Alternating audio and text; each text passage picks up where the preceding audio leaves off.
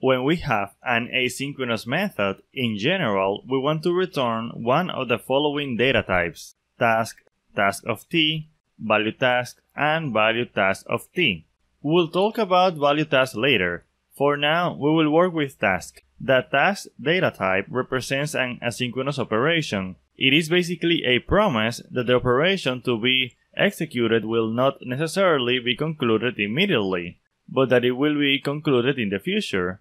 What is the difference between task and task of t? Although we use both of them for the return data type of an asynchronous method, the difference is that task is for methods that do not return a value, while task of t is for methods that do return a value of type t, where t can be any data type, such as a string, int, a class, etc. We know from basic C Sharp that a method that does not return a value is marked with void. This is something to avoid in asynchronous methods. An exception to this rule are event handlers, just like the one we have that responds to the click of the start button. Let's see an example. We are here in Visual Studio and let's say that we want to centralize this operation that we have here into its own method. So let's do that. Let's go here, let's say private async and we have to say task. Why do we have to say task here? Because we're going to have an asynchronous method. So let's say something like wait, for example, and then I will cut this from here and I will paste it here. And as you can see, we don't have any errors. And that is because this is an asynchronous method.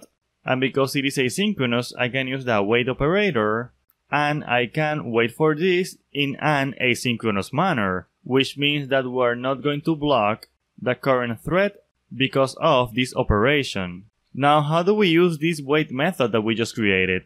Well, we can go here and we can say wait, which is this method that we have here. Now, we see some green squiggly lines under the wait method. Why is that? It is because this method returns a task and because it does return a task, then it means that this should be a promise. And basically here, we are being informed that if we don't use the await operator, we're not going to wait for this operation to finish. Which means that once we get to this line of code, the next one is going to execute immediately if we don't use the await operator. Let's make an experiment. Let's go here.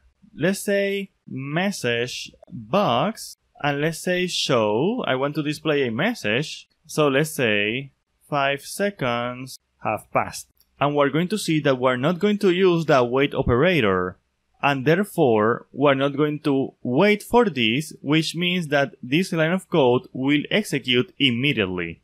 It doesn't matter that we're using an await here, because with this await, we are suspending the execution of this method that we have here, but not of this method that we have here, because the wait is here, the wait is not here. So let's do that. Let's press Ctrl F5 to run our application, and let's go here and let's click on Start. And you're going to see that we got this message right away. That is because we are not using the await operator. Now let's see what happens if we use the await operator. Let's close this and let's say here await. Now the first thing that you're going to see is that we don't have any green squiggly line anymore. And with this await, we are saying, hey, wait for this operation to finish before running these lines of code that we have here. So let's press Ctrl F5 to see that.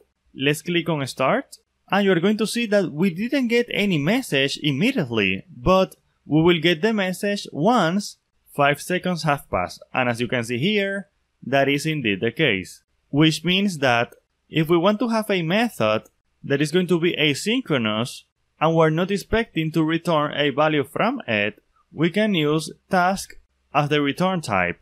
And we need to do that because if we say void here, you are going to see that we get an error here because we cannot wait void.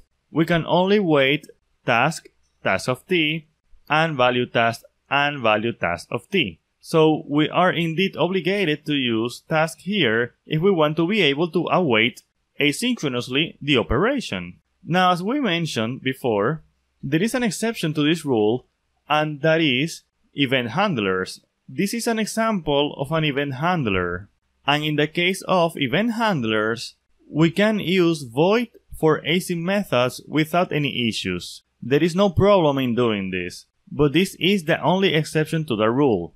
In general, outside of event handlers, we always, always, always have to use task, task of t, value task, or value task of t for the return type of an asynchronous method, just like we're doing here.